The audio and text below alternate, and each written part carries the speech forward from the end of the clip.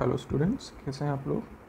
आज का हमारा टॉपिक है रोबोटिक्स प्रोग्रामिंग लैंग्वेज इस टॉपिक के ऊपर मैं पहले दो लेक्चर ले, दे चुका हूँ. Robotic programming language part one and part two तो आज का पार्ट थ्री स्टार्ट करने से पहले आप एक बार मेरे जो पुराने दो लेक्चर है रोबोटिक प्रोग्रामिंग लैंग्वेज उसको ज़रूर देख लीजिएगा ताकि आपको समझने में कोई दिक्कत ना हो और आप आसानी से अपने नोट्स बना सकें. चलिए स्टार्ट करते हैं आज का लेक्चर रोबोट की टीचिंग मेथड के दो मेथड थे। एक था ऑनलाइन मेथड एक था offline method offline online further divide हो जाता था हमारे दो में। एक मैनुअल टीचिंग एंड एक होता था lead through teaching manual teaching में हमने तीन मेथड पढ़े हैं। Control handle push button and teach pendant manual teaching में हमारा जो होता था पॉइंट टू पॉइंट टास्क होती थी। बट अब हम करने वाले हैं लीड थ्रू टीचिंग इस लेक्चर में हम मेनली इसी टॉपिक पर कंसनट्रेट करेंगे ये किस प्रकार होता है, इसका क्या मेथड होता है। लीड थ्रू टीचिंग सुटेबल होती है किसी कंटिन्यूस पाथ टास्क के लिए। जैसे कि मेरा मिलिंग का ऑपरेशन होता है। इसमें क्या है, मेरी जो मिलिंग का टूल होता है, वो कंटिन्यूसली मेरी वर्क जॉब के साथ चलता है और अपने साथ साथ मटेरियल निकालता जाता है और मिलिंग करता जाता है। तो हम मान लेते हैं, हमारे पास कोई ऐसी जॉब है, जिसकी प्रोफ़ाइल ये दी गई है, हल्की सी एस शेप की। ये मेरा मिलिंग टूल है एंड ये मेरा एंड ग्रिपर से पकड़ा हुआ है। हमको क्या करना है कि ये पाथ ट्रेस करना है। और इस प्रोफ़ाइल की कटिंग करनी है। तो इस प्रोफ़ाइल को एकदम कट करने के लिए हम क्या करते हैं, इस प्रोफ़ाइल को डिवाइड कर देते हैं large number of small pieces में। जैसे ये हो गया, ये मैंने दिखा रखा है कि हमने ऐसे ऐसे बहुत सारे पीसेस में डिवाइड कर दिया। मान लेते हैं एक हज़ार पीसेस में हमने डिवाइड कर दिया। तो इन एक हज़ार के कॉरस्पॉन्डिंग हमारे कुछ थीटा होंगे। थीटा वन होगा थीटा टू होगा, ऐसे थीटा थ्री होगा। तो ऐसे हमारे थीटा एन होंगे थाउज़ेंड टाइम्स तक हमारे थीटा होंगे। तो इसके, ये तो मान लें, इतने थीटा हमने इकट्ठे कर लिए हैं। अब प्रॉब्लम आएगी हमारी, इन थीटा को हम स्टोर कैसे करें? ठीक है? इन्फॉर्मेशन मिल गई, इतने थीटा हमने इकट्ठे कर लिए कि इस प्रोफ़ाइल के लिए इतने नंबर ऑफ़ थीटास हैं, और इसकी हम कटिंग कर सकते हैं। बट प्रॉब्लम कहाँ आएगी प्रॉब्लम आएगी जब हम इस इंफॉर्मेशन को स्टोर करेंगे। क्योंकि मैनिपुलेटर की जो हमारी स्टोर होनी है इन्फॉर्मेशन वो उसके करेक्टर के अंदर स्टोर होनी है। तो जितना ज़्यादा डाटा होगा, उतना हमें डाटा बैंक चाहिए उसको स्टोर करने के लिए। तो हमारे पास बहुत बड़ी प्रॉब्लम खड़ी हो जाएगी डाटा स्टोर करने की। तो अब इस प्रॉब्लम का सोल्यूशन क्या है? या तो अब हम मैनुअली एक मैनुअली इस मिलिंग टूल को पकड़ लें और इसके ऊपर ऑप्टिकल रीडर्स लगे हुए हैं, वो क्या करेंगे? अलग अलग थीटास को लेते जाएँगे और इस प्रोफ़ाइल को ट्रेस कर लेंगे। लेकिन अगर कुछ कॉम्प्लिकेटेड जॉब आ जाती है, या कोई बहुत कॉम्प्लिकेटेड या अजीब सी कोई जॉब आ जाती है जिसको हमें ट्रेस करना है फ़र्स्ट टाइम तो उस समय तो हमारा मैनुअल मेथड भी फेल हो जाएगा। क्योंकि हम मैनुअली तो हर पोजीशन पे नहीं जा सकते हैं और जो हमारे ऑप्टिकल रीडर है जहाँ जहाँ हम जाएँगे उतनी उतनी हमारा ऑप्टिकल एनकोडर रीडिंग लेता जाएगा, उतना डाटा स्टोर हो जाएगा, लेकिन हमारी जॉब पूरी कंप्लीट नहीं हो पाएगी। तो इसको करने के लिए हमारे पास एक ऑप्शन होता है, वो होता है हमारा रोबोट सिम्युलेटर रोबोट सिम्युलेटर क्या होता है? हमारा जो मेन सिम्युलेटर यानी कि मेन रोबोट है, एकदम उसी के तरह होता है। सेम कैनेटिक्स सिमिलर जॉइंट होंगे सिमिलर लिंक होंगे सब कुछ उसी की तरह होगा। बस होगा क्या अंतर? स्केल थोड़ी कम होगी। स्केल, यानी कि अगर मेन मोटर का साइज़ एक है तो ये वन उसी सेम साइज़ का हो सकता है, या वन इज़ टू टू का हो सकता है, या one is two point five का हो सकता है। तो हमारा इसका साइज़ में वेरिएशन होगी, बाकी एकदम सेम उसकी कॉपी होगा वो।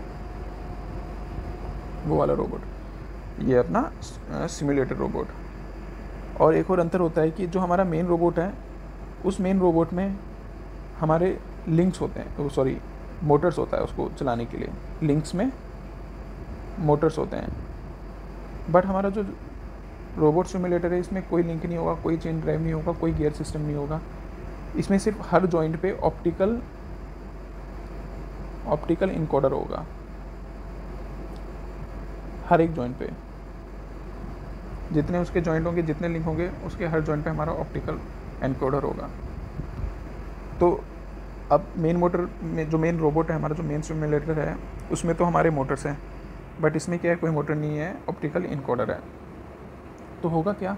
जो हमारी कॉम्प्लिकेटेड प्रोफ़ाइल है, हम उसको पकड़ के मिलिंग टूल को पकड़ के, जिसके ऊपर हमारा ऑप्टिकल इनकोडर लगा हुआ है, वो उस कॉम्प्लिक कॉम्प्लेक्स प्रोफ़ाइल को ट्रेस कर लेगा। ट्रेस करने में क्या है, वो जहाँ जहाँ ट्रेस करेगा, वहाँ वो थीटास की वैल्यू को स्टोर करता जाएगा। इससे क्या है, हम लोगों को पूरा का पूरा प्रोफ़ाइल मिल जाएगी और हमारा जो डाटा है, वो कम थीटाज में कैलकुलेट हो जाएगा। और हमें पता है जितना कम थीटा होगा वैल्यू थीटा की जितनी कम होगी या जितने ज़्यादा हमारे पार्ट कटेंगे, उतनी ज़्यादा उसकी प्रिसीजन आएगा। पार्ट कटेंगे मतलब कि जैसे मैंने ये प्रोफ़ाइल बनाई थी, इसमें छोटा छोटा जितना ये कम होगा इस प्रोफ़ाइल का, उतना अच्छी हमारे पास प्रिसीजन होगी, उतनी अच्छी क्लियरिटी होगी जॉब में। तो यही प्रोसीजर होता है हमारा लेट थ्रू टीचिंग में। यानी कि हम एक रोबोटिक सिमुलेटर की सहायता से मैनुअली या विदाउट मैनुअली किसी पाथ को ट्रेस कर लेते हैं और वो पाथ का data through optical encoder store हो जाता है रोबोट के ब्रेन के अंदर। इसको हम बोल देते हैं लीड थ्रू टीचिंग इसमें जो हमारा मेन रोबोट होता है मेन रोबोट को बोला जाता है या मेन सिमुलेटर को बोला जाता है slave robot S L A V E slave robot and हमारा जो ये रोबोट सिमुलेटर है, इसको बोलते हैं हम master M A S T E R master robot तो इस मास्टर रोबोट की हेल्प से हम इस स्लेव रोबोट में प्रोग्रामिंग करते हैं और कंट्रोल करते हैं हम इसको अपने स्लेव रोबोट को मास्टर रोबोट की हेल्प से। अब हम रोबोट को किस तरह से मैनुअल इंस्ट्रक्शन या फिर प्रोग्रामिंग के थ्रू इंस्ट्रक्शन देते हैं वो हमें पता चल चुका है। हमारे पास दो मेथड थे online method and offline method online method में हमारी मैनुअल टीचिंग थी और lead through teaching manual teaching के तीनों पॉइंट्स हमने control push button and teach pendant को कैसे पॉइंट टू पॉइंट इस्तेमाल करके हम जॉब की प्रोग्रामिंग करते हैं, वो हमें पता चल चुका है। अब हमारा जो है कंटिन्यूस लीड थ्रू टीचिंग है, ये मैंने आपको अभी बताया कुछ देर पहले ही। इसमें हम लोग किस तरह से पाथ को कंटिन्यूसली ट्रेस करके प्रोग्रामिंग करते हैं। अब चलते हैं नेक्स्ट स्लाइड की ओर। लीड थ्रू प्रोग्रामिंग अभी मैंने आपको पिछली स्लाइड में उसकी थ्योरी समझाई, किस तरह से लीड थ्रू प्रोग्रामिंग में प्रोग्रामिंग की जाती है। इस स्लाइड में उसके बारे में कुछ थ्योरी लिखी गई है। आइए इस थ्योरी को पढ़ लेते हैं और जान लेते हैं क्या क्या लिखा है इसमें। The robot arm using this teaching method are typically one with wrist motion plus three degree of freedom and having revolute joint यानी कि जो रोबोट आर्म हम टीच करते हैं इस मेथड के थ्रू उनके पास एक तो रिस्ट मोशन होनी चाहिए। रिस्ट आपको पता है, वो पोर्शन होता है जो ग्रिप जहाँ पे जिसके नीचे ग्रिपर लगता है। ये चीज़ मैंने आपको अपने पुराने लेक्चर्स में बता दी गई है कि रोबोट के मेन पार्ट्स के अंदर। प्लस उसमें थ्री डिग्री ऑफ़ फ्रीडम होनी चाहिए। एंड उसके अंदर रेवल्यूट जॉइंट होने चाहिए। ये कंडीशन है। कंडीशन बोल दो या फिर ये रिक्वायरमेंट है हमारी लीड थ्रू टीचिंग की। क्योंकि होता क्या है, जैसे कि डिग्री ऑफ़ फ्रीडम के बारे में बताया।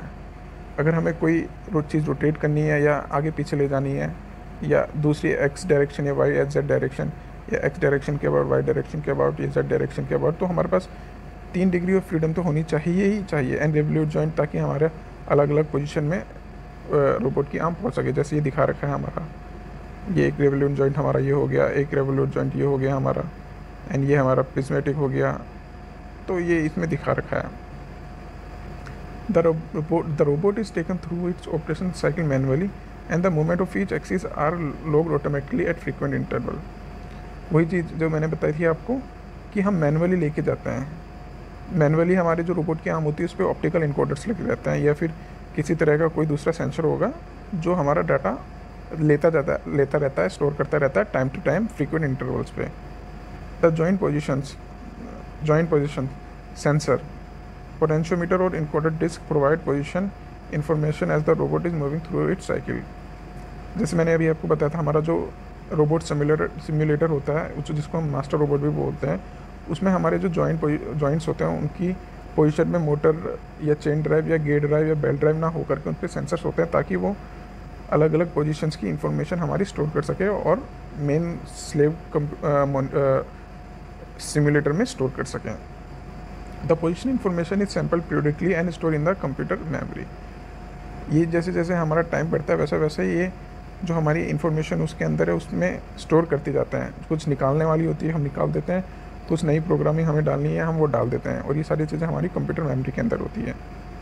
When played back the end effector appear to follow the continuous path जब हम उस प्रोग्रामिंग को डालते हैं तो जो एंड अफेक्टर है हमारा, जहाँ पे हमारा टूल या फिर कोई और वर्किंग एप्लीकेशन के लिए ऑब्जेक्ट लगा है तो वो हमें एक कंटिन्यूस पाथ करता हुआ दिखता है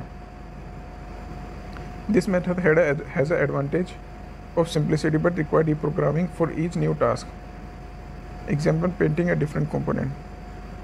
इसकी हमारे पास एडवांटेज बहुत सारी अच्छी अच्छी हैं। लेकिन जैसे इसमें बताया गया है कि अगर हमें कोई नई जॉब करनी है तो हमें दोबारा प्रोग्रामिंग करनी पड़ेगी। जैसे कि ये दिया हुआ है अगर हमें किसी और, जैसे बाइक को पेंट करना है तो उसके लिए अलग प्रोग्रामिंग होगी। कार को पेंट करना है तो उसके लिए अलग प्रोग्रामिंग होगी। तो मतलब हमारी जॉब के अकॉर्डिंग हम उसमें प्रोग्रामिंग करेंगे। This method is use to teach robot to carry out such task as painting spraying और applying adhesive to an irregular services ये कुछ एग्जांपल दिए हुए हैं जहाँ जहाँ ये यूज़ होती है हमारी लीड थ्रू प्रोग्रामिंग जैसे कि ये स्प्रे ऑपरेशन जहाँ होता है, वहाँ यूज़ करते हैं हम उसको। कुछ ऐसी जगह इरेगुलर सर्फेसेज जहाँ हमें पेंट लगाना है या पेंट करना है, वहाँ हम इसको इस्तेमाल कर सकते हैं। तो होपफुली मुझे उम्मीद है कि जो मैंने समझाने की कोशिश करी है, वो चीज़ आपको समझ में आ रही होगी और वही चीज़ यहाँ पर लिखी गई है थ्योरी में। आप अपने तरीके से अपने नोट्स बनाइए इनके और सेव करिए। ये देखिए एक एग्ज़ाम्पल दिया हुआ है। ये आदमी रोबोट को किस तरह अपना मैनुअली हाथ पकड़ के, क्योंकि ये हमारी सिंपल कॉम्प्लिके सिंपल जॉब है, इसमें ऐसी कोई कॉम्प्लिकेशन नहीं है। तो मैनुअली सेंसर्स के थ्रू ये डाटा सेव होता जाएगा हमारे स्लेव मास्टर रोबोट में, और इसका डाटा हम ट्रांसफ़र कर सकते हैं अपने मेन रोबोट में। जैसे ये A T R one zero five लिखा हुआ है, ये इस बात को आराम से ट्रेस कराएगा और इसकी मेमोरी में स्टोर करा देगा। कुछ एडवांटेजेस डिसएडवांटेजेस हैं हमारी ऑनलाइन प्रोग्रामिंग की। ध्यान रखिए, यहाँ पे हम दोनों प्रोग्रामिंग की बात कर रहे हैं। Teach pendant teach pendant and lead through जो ऑनलाइन प्रोग्रामिंग के अंदर आती है। तो इनकी एडवांटेज है ईजी टू यूज़ बहुत आसान है, आपने जैसे देखा, आसानी से कर सकते हैं इसको। Little to no skill required हमें ज़्यादा स्किल की ज़रूरत भी नहीं है प्रोग्रामिंग करने की ज़रूरत नहीं एक मैनुअली किसी को सिखाना है, ताकि वो जैसे हमारी जॉब करनी है, उस हिसाब से रोबोट के अंदर प्रोग्रामिंग डाल सके, क्योंकि फ़र्स्ट टाइम जो प्रोग्रामिंग होनी है, वो बाय मैनुअली होनी है या फिर बाय पेंडेंट होनी है? एंड प्रोग्रामिंग क्विकली और ये प्रोसेस हमारी काफ़ी तेज़ी से हो जाती है। इसमें इतना टाइम भी नहीं लगता है। फिर कुछ डिसएडवांटेजेस है इसकी। Require production line shut down क्योंकि हमें पता है ये ऑनलाइन प्रोग्रामिंग है। यानी कि जब हमारी ऑन रोबोट प्रोग्रामिंग हो रही है ये, कि जैसे कोई काम हमारा चल रहा है तो हमें कोई टास्क चेंज करनी है तो उसके लिए हमें क्या करना होगा? पूरी की पूरी जो शट डाउन प्रोडक्शन लाइन है वो पूरी की पूरी प्रोडक्शन लाइन हमें शट करनी पड़ेगी यानी कि बंद करनी पड़ेगी। तो ये बहुत बड़ी डिसएडवांटेज है हमारी ऑनलाइन प्रोग्रामिंग की। Technician programming inside work envelope work envelope वाला चैप्टर मैंने आपको बताया था वर्क एनवेलप क्या होता है? वर्क एनवेलप हमारे उस रोबोट की वॉल्यूम होती है जिस वॉल्यूम के अंदर वो कार्य करता है काम करता है। तो ये बहुत बड़ा रिस्क है कि हमारा रोबोट हमारा जो मैनुअल है जो आदमी ऑपरेटर है जिसको प्रोग्रामिंग करनी है प्रोग्रामर प्रो, प्रोग्रामर है उसको रोबोट के वर्क एनवेलप के अंदर काम करना पड़ता है, जो एक बहुत रिस्की ऑपरेशन है। कुछ मिस फॉल्ट हो गया या कुछ अनहैपनिंग हो गई तो मे बी उसकी कैजुअलिटीज भी हो सकती है और उसके चोट भी लग सकती है तो ये बहुत बड़ी डिसएडवांटेजेस है। कुछ और ये एडवांटेजेस दी हुई है इसमें, ये आप पढ़ लीजिएगा और अपने हिसाब से नोट्स बना लीजिएगा। ये देखिए, जैसे इस फ़ोटो में दिखाया गया है कि किस तरह से ये हमारा प्रोग्रामिंग कर रहा है। पॉइंट टू पॉइंट वाली। एक ये दिखाई गई है। या एडवांटेजेस जैसे program is illustrative collision and inaccuracies are directed immediately कुछ गलतियाँ वलतियाँ हो तो वो तुरंत पढ़ सकते हैं। Program without further programming experience आदमी को ज़्यादा स्किल की ज़रूरत नहीं है, किसके पास अगर पुराना एक्सपीरियंस नहीं है तो वो आराम से कर सकता है। प्रोग्रामिंग इज़ यानी कि प्रोग्रामिंग सिखाई जाती है। डिसएडवांटेज हो गया creating complex program are difficult complex कुछ हमें अगर प्रोग्रामिंग करनी है कोई कॉम्प्लेक्स शेप आ गया हमको, जैसे हम थ्री प्रिंटिंग में कर पाते हैं, जिसकी लेक्चर्स मैंने आपको अपलोड कर कर दिए हैं, जो आप पढ़ सकते हो। उस तरह का कोई शेप बनाना है तो रोबोट की हेल्प से तो उसकी प्रोग्रामिंग करना थोड़ी कॉम्प्लिकेटेड होगी। इंटीग्रेटिंग सेंसर्स आर डिफ़िकल्ट दुनिया भर के सेंसर्स लगे हैं जो इन्फॉर्मेशन गेन कर रहे हैं हमारे।